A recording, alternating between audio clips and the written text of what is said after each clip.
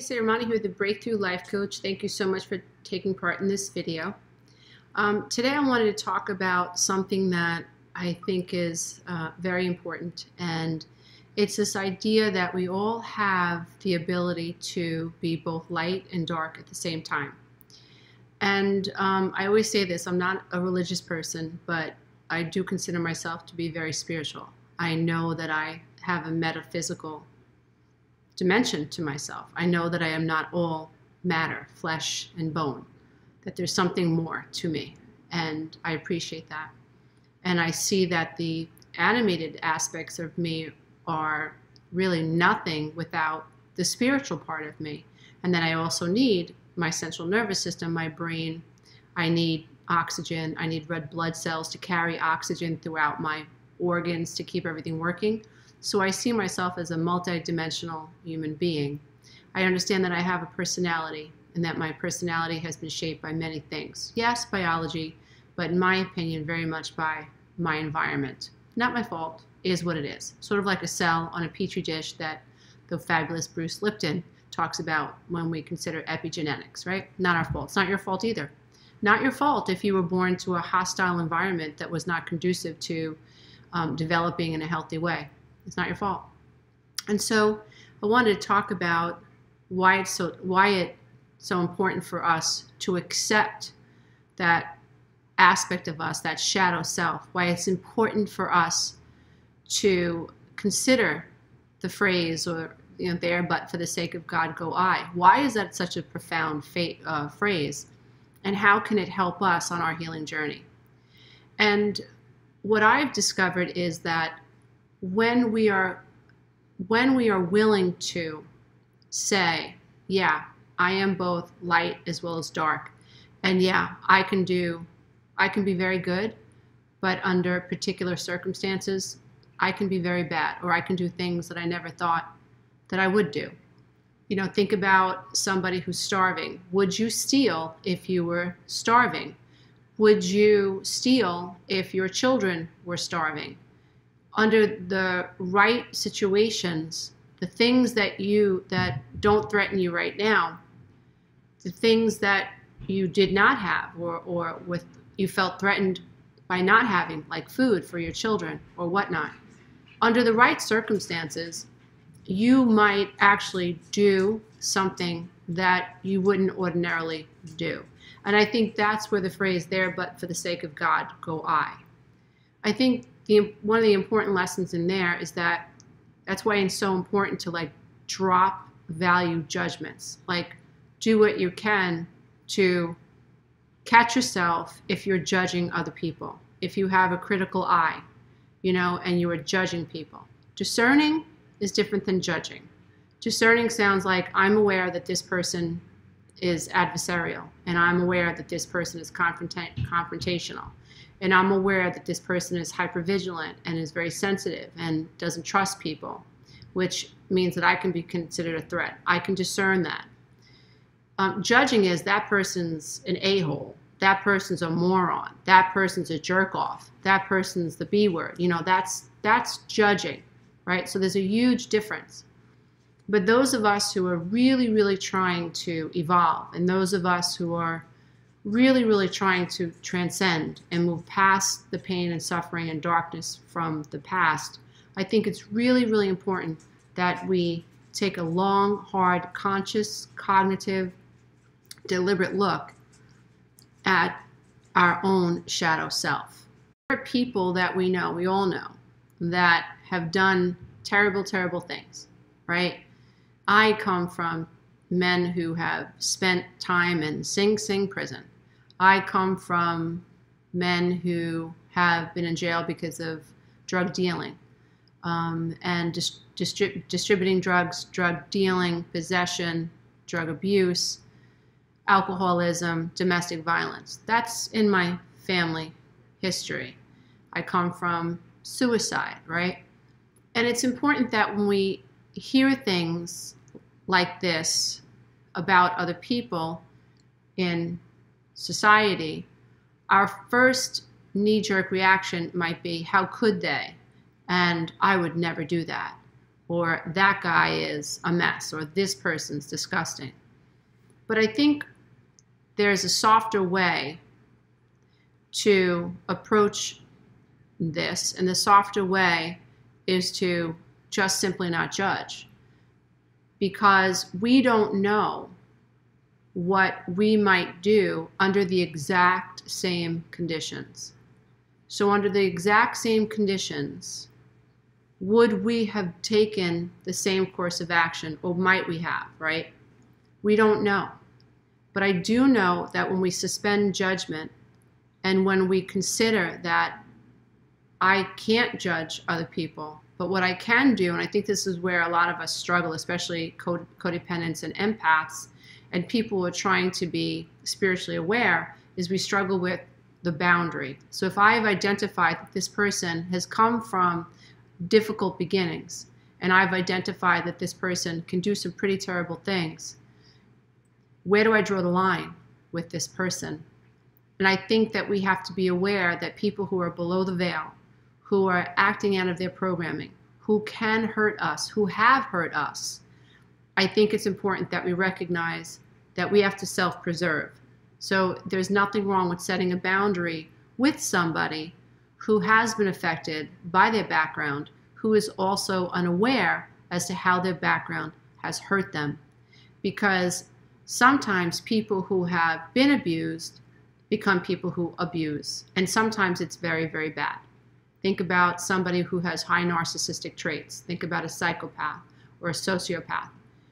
They have been affected by the past. Some, you know, there's there's a big debate about it some people say that you know narcissists and sociopaths and psychopaths are born, and that may be true in some cases. But there's a, there are a lot of people who believe that this type of domineering personality and abusive personality are the result of childhood experiences feeling completely abused very early on and and deciding very early on before the age of 2 I'm not safe here you know this is messed up this this home that I live in is not safe. The people who are supposed to love me are hurting me, right?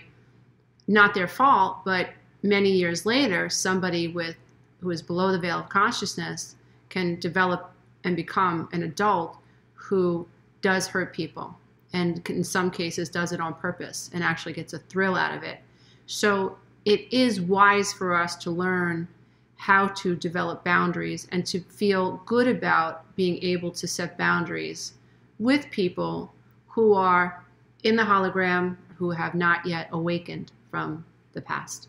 I'm asking people to consider is this idea that under the exact same circumstances, under the same biological influences, things that we could not control, under you know this idea that if we were born to that person's mom and that person's dad, if our genealogy, if our genes, right, if our DNA were exactly like this person's, if we were a clone of this person, would we behave much differently under the exact same particular circumstances? Now, why is that important to consider? That's important to consider because that allows us to embrace this idea that we're not all good and that's okay. I think that so many of us struggle, and I think a narcissist especially especially struggles with I'm not perfect because there's so much shame associated with not being perfect. There's tremendous shame there. And it's the type of shame that in some cases people don't come back from, right? So it's helpful when we learn to acknowledge that we can be good as well as bad, and we can be light as well as dark. And when we think about the idea that under the exact same particular circumstances, we don't know if we would have made the same choices, right? It's very important that we learn to suspend very strict ideas about good and bad and black and white thinking. When I know that I have done things that I did when I was below the veil of consciousness, I can forgive myself and I can I can heal shame that comes with that. And the power in that is being able to join somebody who is also suffering with that type of shame. That's why sponsorship works, right? So when you join AA, you get a sponsor, a sponsor who's been there. Hopefully, it's a healthy sponsor. You know, um, that matters. But when we are able to say, yeah, I've messed up and I've lived below the veil and I'm not perfect, and I understand that my journey here is about learning to forgive myself so that I can merge more with the light that I am. And then what we do is we take that, and when we're dealing with other people, we're not judging other people because we know there but for the sake of God, go I, or there but for the sake of circumstances, go I. And this is the way I think that we can help bridge the separation that society feels, right? In so many in so many ways, right? Black, white, up, down, Asian, Hispanic, female, male, you know, um, you know, it, it's important that we address gay, straight, whatever, bisexual.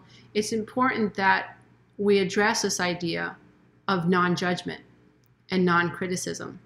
But I don't think that we can get there until we've been able to help the ego understand that transcending is not equal to death, really, although that's the way the ego feels. The ego feels like if I let go and I transcend, I disappear. And then who's going to protect this inner child? Who's going to protect the wounds? You know? And so it's important that on the healing journey, we do what we can to remain highly conscious of this idea that we do have a higher self and we are connected to infinite intelligence and we can access that, right? But we also have to understand that there's we have an ego, and the ego is designed to self-preserve. And when there's a lot of trauma, especially early on, when there's a lot of trauma, and this little being, this little dear one, has decided early on, I can't trust the world. The world is a terrible, vicious place. This child has to decide who it's going to be and opening up and becoming vulnerable is just too scary. It's, it's equal to death. And we are designed by nature to survive. And people who have experienced tremendous wounds early on, their ego is all they have. The ego is protecting annihilation. In other words, like preventing annihilation. Like, I have to fight you. I have to be hypervigilant. I have to attack you. I have to assume you're going to attack me so that I don't let this inner child disappear.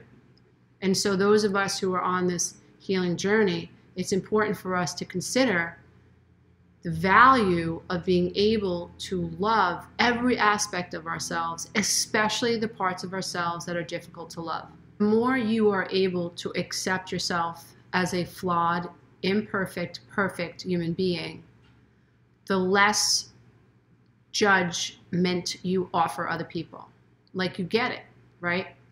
That is the value that someone on the healing path offers not only themselves, but the world. So when I forgive myself and I really embrace, wow, I've done some pretty crappy things, like really nasty things when I was unconscious, when I was a love addict, when I was a codependent, when I was highly reactive, the things that I've said, the things that I've done, I've hurt people. You know, I'm not perfect.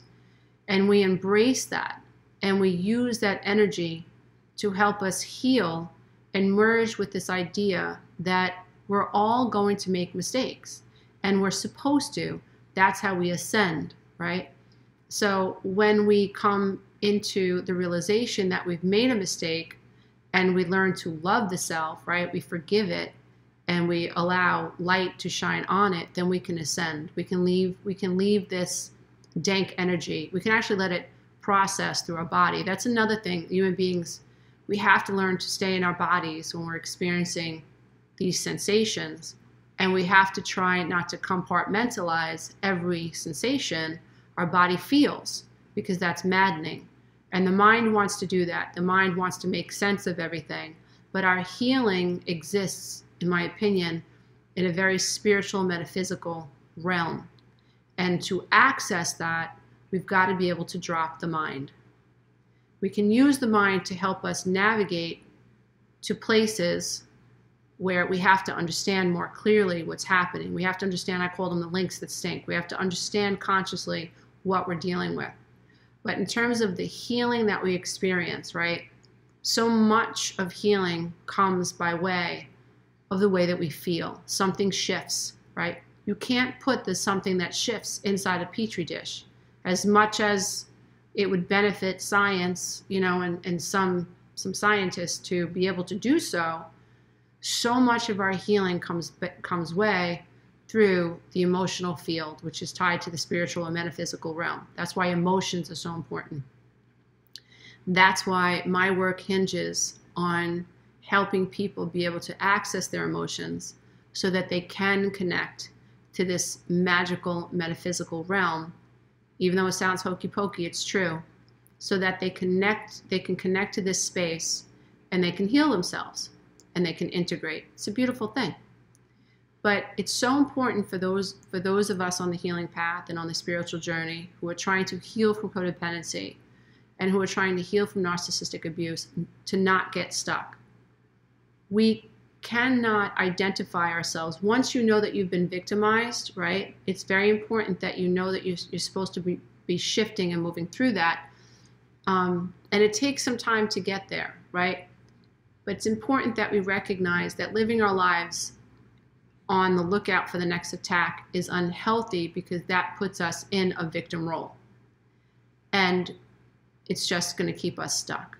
So the one of the reasons that I think narcissism is so hard to cure or to help is because narcissists don't want to embrace the shadow self. And that's why I think there's so much more movement when it comes to being able to help a codependent or somebody who has high empathy and keeps attracting abusive people. It's it's a lot easier. It's still difficult, but it's a lot easier to move someone to a place of integration and harmony, personal development and harmony, who is able to say, yep, I screwed up. Yep, I made mistakes and I'm so sorry. You know, whereas a narcissist is not able to do that. And that and from from their position because they're unable to embrace the shadow self, they create chaos. They create chaos. They're living in chaos, but they're managing it because they don't know how to live any other way. But the problem is they're creating chaos in the lives of other people. And you can have one really disordered person, one really narcissistic person, take down an entire family system, you know, and just just literally infect an entire family system, scapegoat, triangulate. It's like a mob mentality at times. You can have one narcissist in a company create complete havoc inside a company, right? And I think that all goes back to a very deep philosophical question Can I face my dark side? Deeper, can I embrace it? Deeper, can I accept it? Can I enfold it? Can I love it? Can I acknowledge it? Can I merge with it and move forward? And for those of us who are able to do that, what we discover is that we don't feel so heavy anymore. We're not quick to judge people at all. We are aware when other people are being judgmental of other people. You want to make sure that you're not you're not getting caught up in them versus me.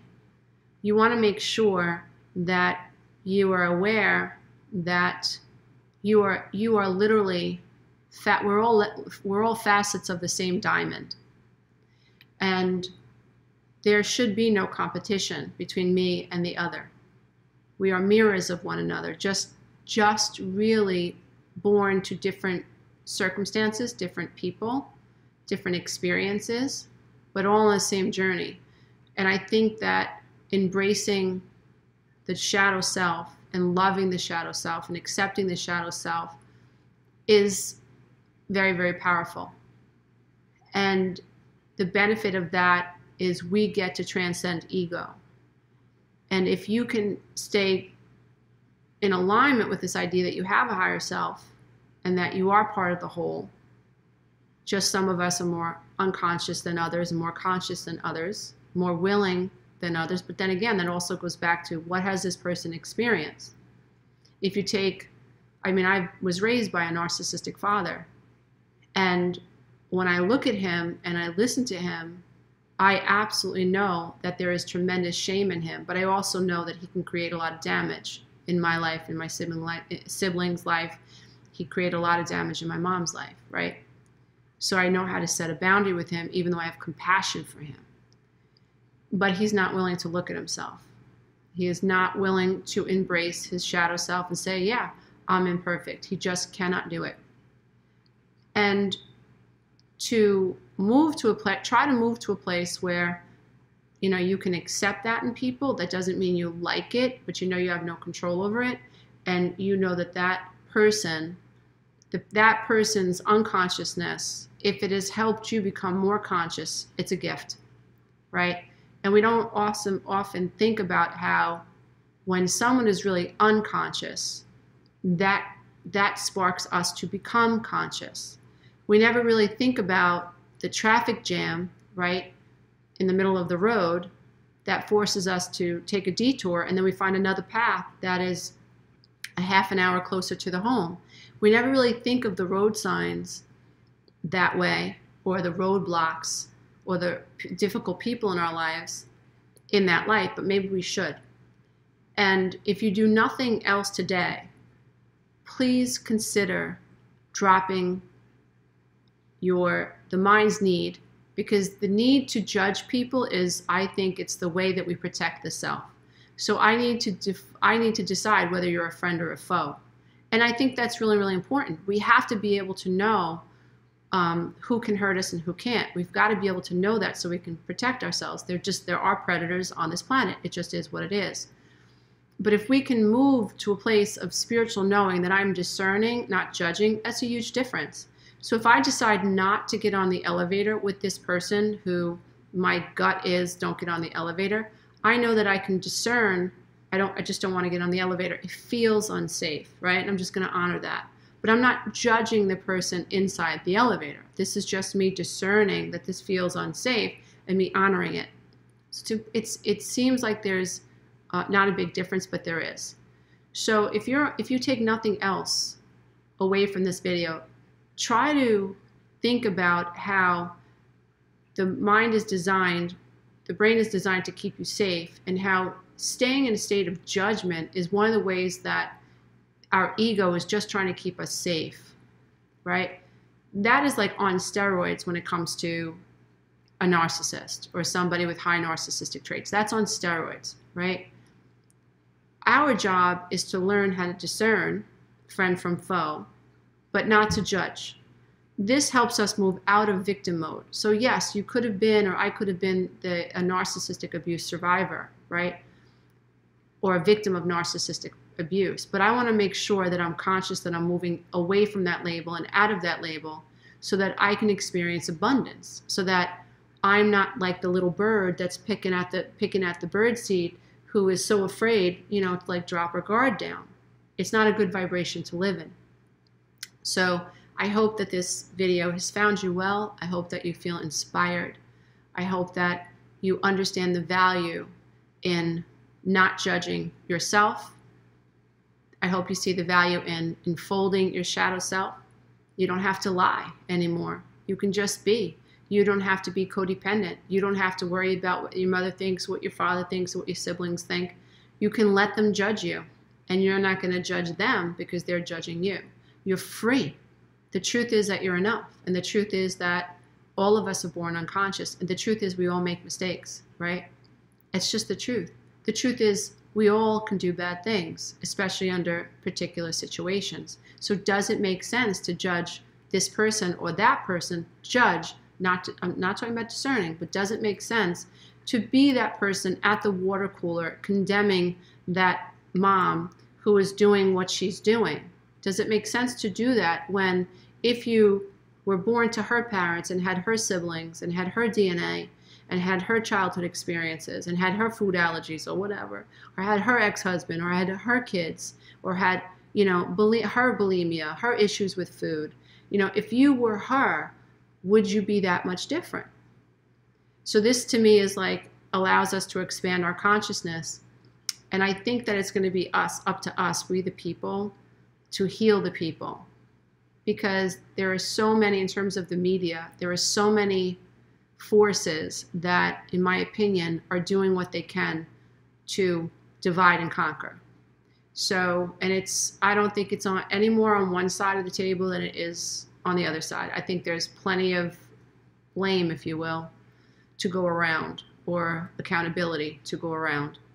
And I think that what we have to remember is that if people can, or if powers can make us feel afraid, then they can control us with that fear. And so, what we shoot for as human beings and as souls incarnated into physical bodies is to eliminate fear and to and one of the ways you can do that is to just love the fact that you've made mistakes. Love the fact that you've been imperfect. Love the fact that you can transcend ego love the fact that you can recover. Just love the fact that you can embrace yourself. I can tell you that when i finally said yes i am imperfect. Yes i've made mistakes. Yes i've been afraid. Yes, I haven't been the perfect mom, and yes, I wasn't the perfect wife, and I wasn't the perfect friend. You're absolutely right. When I finally accepted that, that's when my ex husband wasn't, or my parents even, my brother, my sister, it was just like, it was okay. I was telling my truth. I am imperfect. Before my awakening, I was so afraid that I wasn't perfect. I was so afraid that you were going to judge me, or that my ex husband was going to judge me, or my mother was going to judge me. I was so afraid. It was all about fear. But when I embraced my shadow self, when I embraced that, yeah, I've screwed up, I've made mistakes, I've hurt my kids. I have. I haven't been as conscious as, as I would have liked to have been. I've made some really unconscious choices out of reactivity, out of ego, a frightened ego that's just, just trying to protect the inner child. I get it. When I was able to embrace that, then it was like the power that people had over me was broken and it really comes down to so many of our spiritual truths, like walking by faith and not by sight. The truth sets you free. Being in the world and not of the world, you know. Um, just accepting that you're enough and that you are the light. You know, it's just a beautiful way to live your life. So I'm hoping that this video makes it easier for you to think about the times where you made choices that weren't the best, and that's okay. Think about the times that you've judged other people, and that's okay. Think about how you can merge more fully with your shadow self and think about the power that you can feel as as a spiritual being incarnated into this physical body when you learn the power of forgiving the self and merging with the, the, the shadow. And think about how blessed you will be when you no longer participate in the vibrational energy that is judgmental of others. I hope that this video has inspired you. Please check out my links below. If you would like to know more about me, please visit my website. And again, I'll keep the link below. You are enough, dear ones. You are enough. Namaste.